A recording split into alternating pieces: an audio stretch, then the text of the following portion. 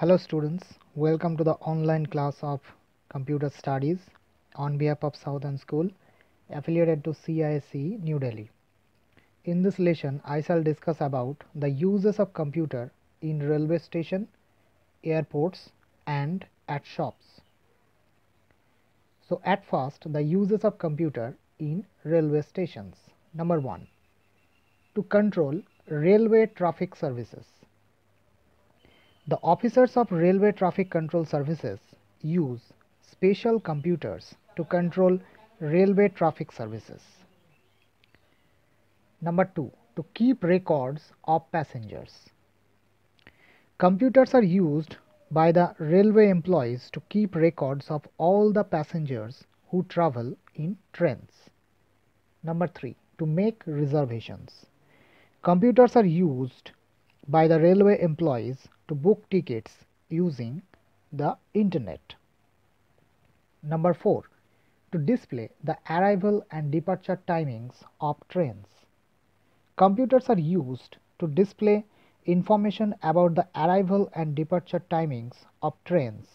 Hence, a passenger at railway station can also know whether a train is cancelled or not. Number 5. To perform crew management. Computers are used by the special employees of railways to perform crew management. Crew of a train means the group of persons who are responsible in smooth running of the train. Now the uses of computer in airports. Number 1.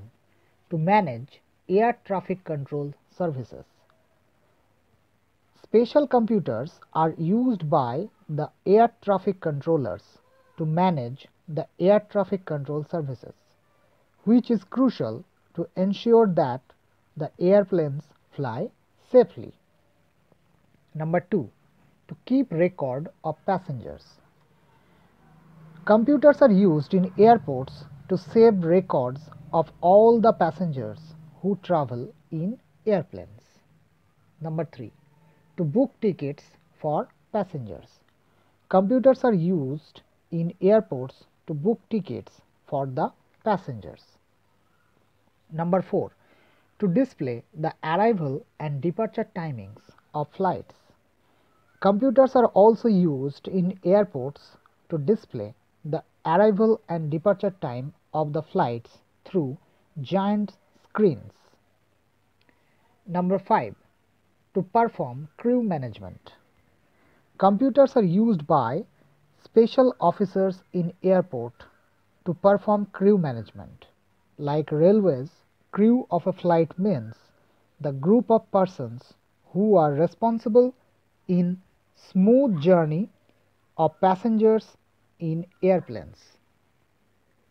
Number 6.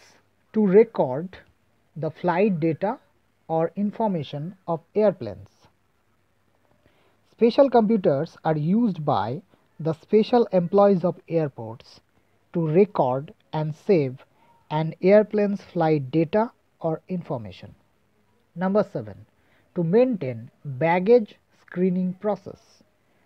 Special computers are used to scan and display the baggage of passengers before getting into the airplane.